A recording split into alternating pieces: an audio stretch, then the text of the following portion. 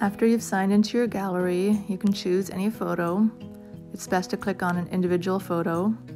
Click on the download button on the bottom right. Click download again.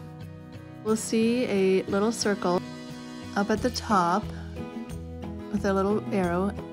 Click on that when it's done. Click on that.